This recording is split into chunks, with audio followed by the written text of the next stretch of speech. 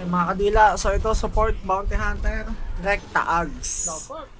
Yan tayo kalakas, Ags kagad.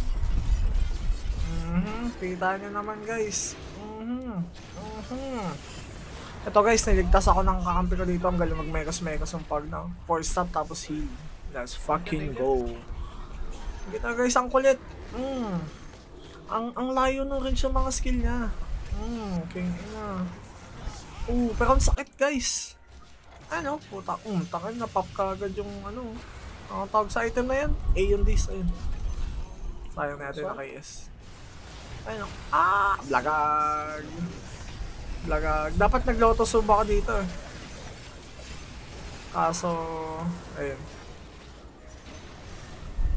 Mhm. May healer naman kasi kami kaya hindi na ako nag-lotus orb. Yung pag na, ganda ng pag na support. Guys, punito, mm, tangin na. Mm.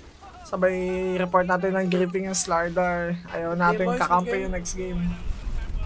Yun lang guys.